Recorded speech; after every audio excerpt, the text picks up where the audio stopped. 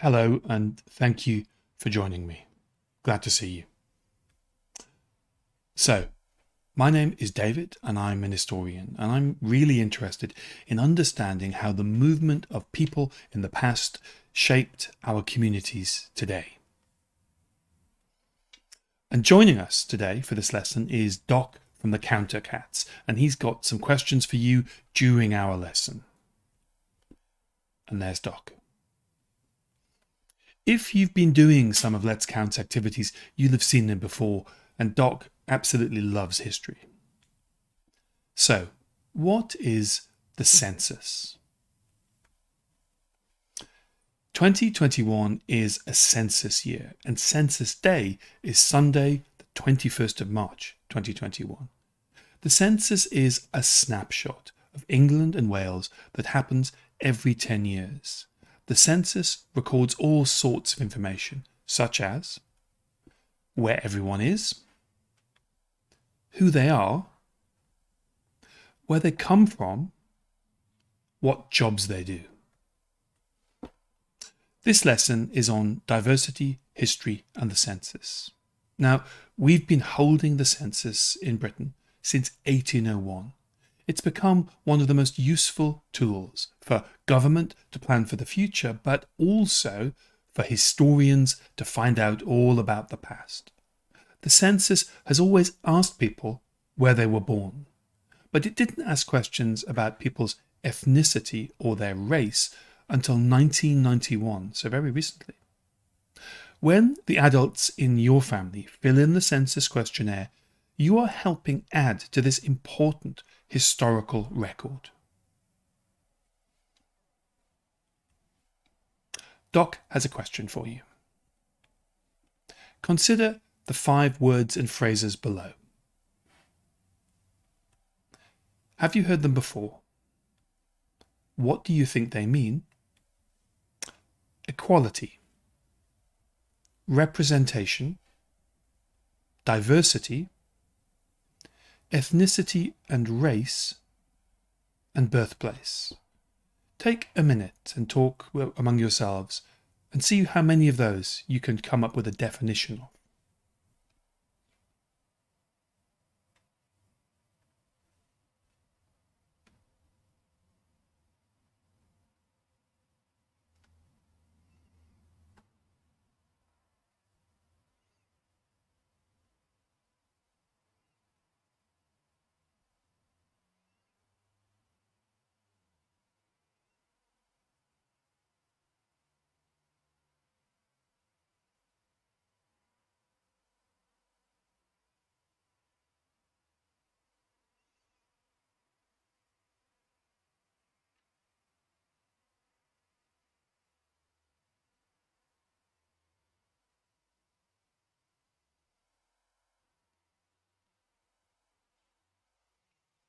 How did you do? Well, let's see what they mean. Here's Doc again. Equality. That's knowing the ways in which people are different, but also at the same time making sure that they are valued and included fully and fairly in everyday life. So we are equal. Representation. Representation is about how visible different groups are in everyday life. Do all groups get to have a say in how things are run? Do we learn about their lives, their history, and their interests? Or are these things overlooked by some groups of other people? Diversity.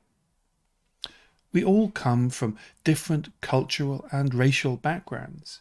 We may speak a range of languages, we may have different religions, and may have different customs and traditions, such as our names, the cultural celebrations that we take part in, our favourite foods, and our popular games. We call this diversity. Ethnicity and race. Now, historians are still debating and discussing the differences between the two. But our ethnicity is something that's shaped by our culture. This means things like the languages we speak, the religions we believe we might have, and the customs and traditions that we might take part in. But that's not the same as race, because when we speak about race, we are usually speaking about physical things, things like skin color and hair texture and facial features. Birthplace. Well, this is a simple one. It's the city or the town or the village or the country where you were born. Today's activity is about a group of people from history who were known as the Lascars. Let's find out about them in today's activity. We're going to bring together two important stories using the census. There's the story of the Lascars themselves and, the, and their presence in England and Wales. But there's also the story of how historians use the census along with other historical sources to help us better understand the history of England and Wales and to make the lives and the contribution of people from different ethnic backgrounds visible. Here's Doc, and he has a question for you. Their story will tell us a great deal about Britain and the Empire and the movement of goods and people in both directions. The Merchant Navy and its sailors from the British colonies, the role of campaigners and charities in supporting visitors and immigrants to England and Wales, and how communities change. Here's Doc again. Doc's question is this Have you heard of the Merchant Navy and do you know what it does? Have a think about that for later on. In this lesson, we're also going to learn how to think like an historian. We're going to follow a trail of historical evidence to find out all about the Lascars. Historical trails can include things like the census records, newspaper articles, paintings, drawings, photographs, maps, stories, and books. All of these things you can see are historical evidence that we can use in our trail. Here's an example of the Lascars appearing in the census of 1911, so 110 years ago. This document is part of the census entry for a ship that was at Cardiff docks on the 2nd of April 1911, which was the census day that year.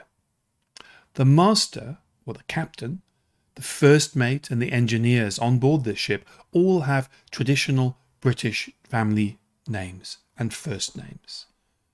Among the ship's crew are many men with names that indicate that they are of Indian heritage. Here's Doc again. The census has always been interested in people's birthplaces. But, and here's his question why might the birthplace of someone not be a reliable clue when historians are trying to learn more about their race and ethnicity in the UK population? This is a grid of those names that were in that census return from 1911. They're much easier to read here. And what you can see is that the master, the first mate, the second engineer, and the third engineer all have traditional English, uh, British first names and family names. And you can see that all of them speak English as their language, and all of them, under nationality, are British. But two of them have been born in Scotland, and the master, the captain of the ship, had been born in the West Indies, and the third engineer had been born in Calcutta. But there are four other men listed here as among the crew, and three of them are under occupation described as Lascars. So Lascars, being a Lascar is a job. There's also one man who's described as a Sarang, and all four of them are Indian under their nationality, and they speak a language called Hindustani, and they'd all been born in Calcutta or Kuli in India. Here's Doc again. This is his question.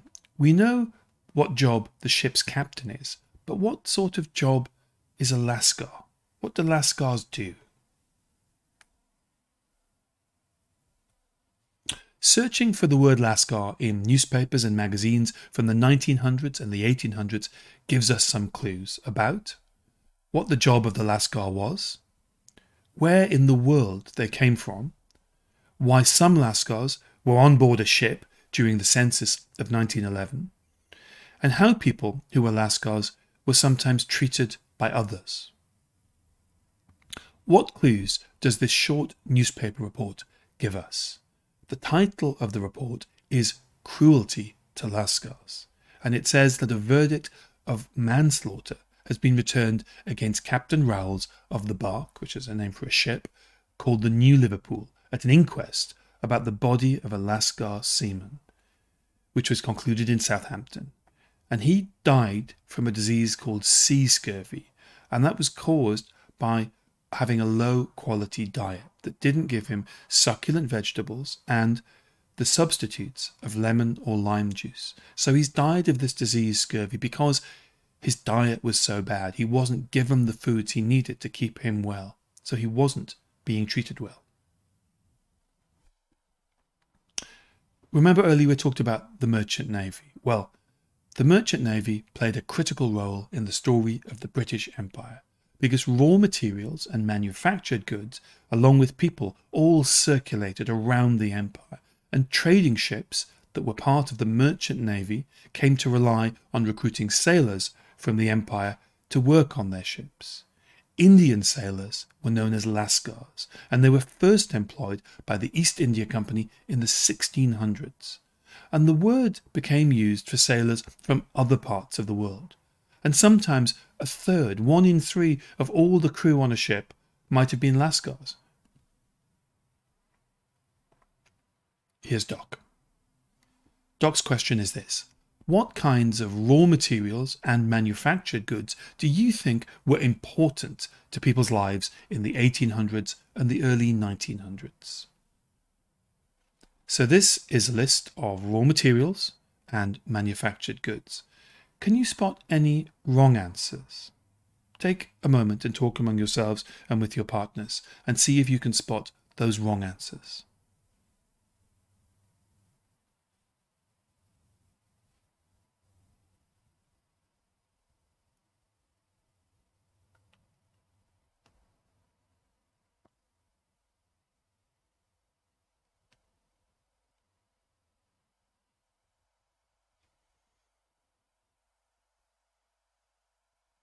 Here's Doc. Which are the wrong answers? Yes. Only two of them were wrong. That's interesting. All of these other things were manufactured goods and raw materials that were part of people's lives in the empire. Velcro and iPads were not. Lascar came to be used to describe any sailor who was non European and Lascar sailors often spent long periods of time in British ports waiting to get another job on a ship.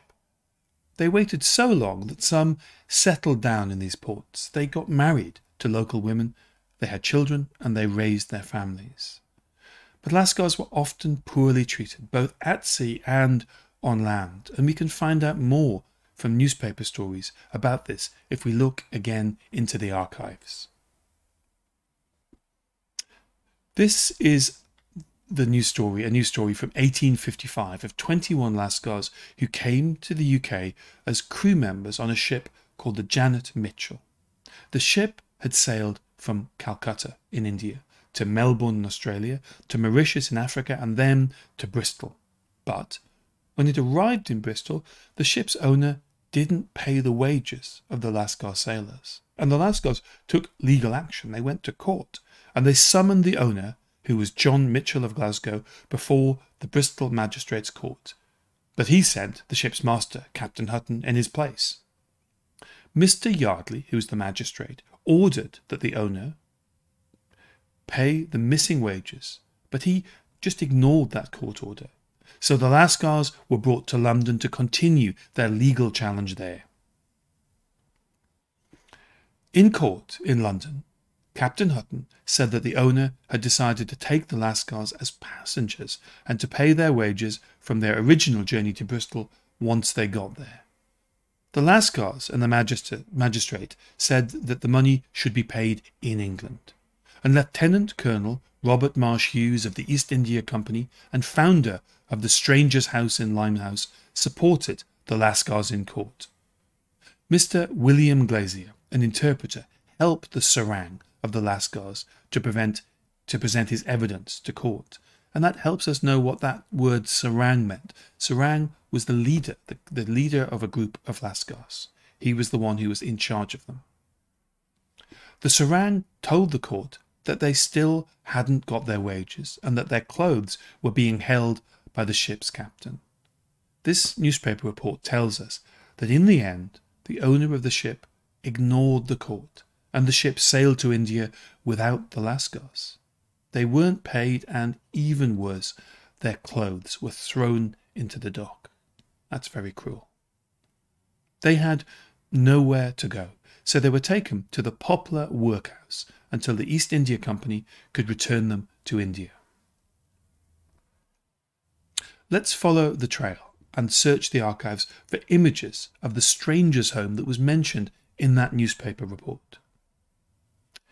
Here's a picture of a very big building, the Stranger's Home in Limehouse, which was on West India, West India Dock.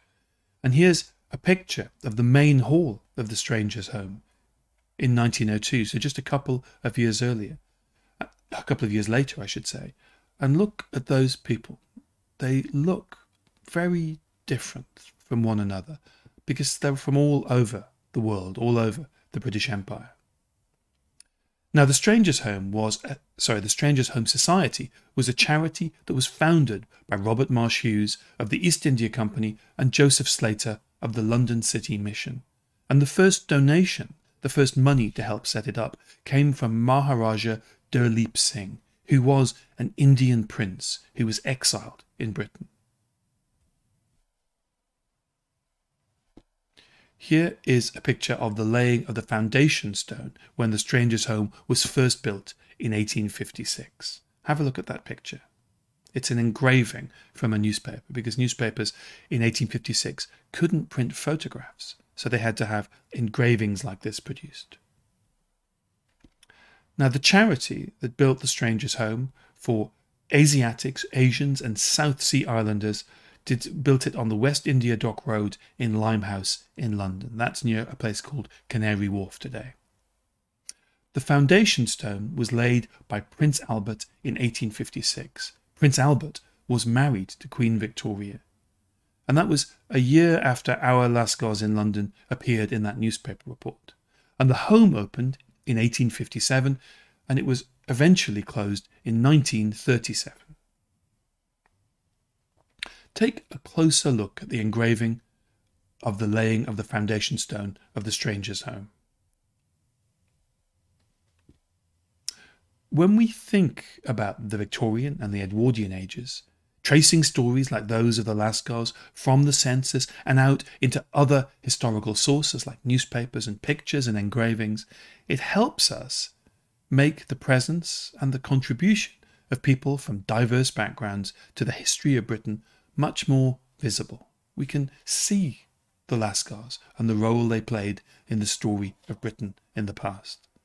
And it helps us reimagine how we tell stories about our shared history and our long, diverse culture.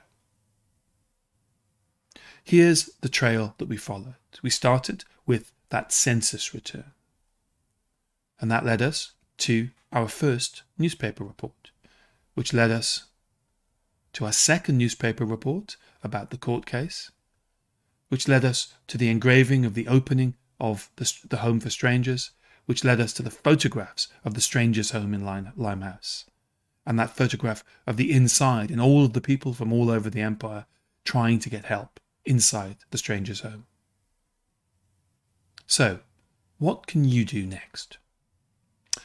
The newspaper story, The Lascars in London, shows us that the Lascars stood up for their rights and they had support from individual people but also from organizations like the charity that built the Strangers' Home.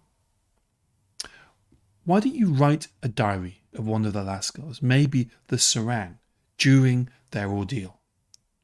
How might he have felt? What did he do to stand up for the Lascars, the men who looked up to him? Do you think that they all went back home to Calcutta in the end, or might some of them have stayed in London? And if they did, what might they have done next?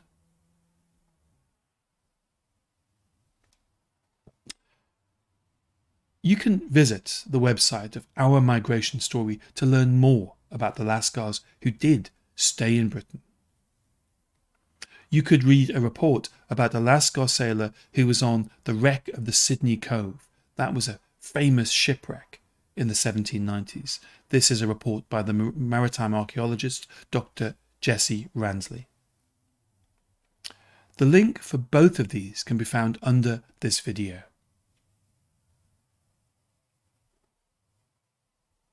Here's some other suggestions from Doc. After this lesson, find out about the census. How does the census ask people about their ethnicity? Gather your findings gather your findings in an information text. Use the NOMIS website to search the 2011 and 2001 census database. Follow the link below this video to find the NOMIS user guide on the Let's Count website to access local census data. Can you find and compare the census data on ethnicity in the area around your school in 2001 and then 10 years later in 2011? Thank you so much for taking part. Please ask an adult at home to fill in the census on the 21st of March so we can all together help shape the future.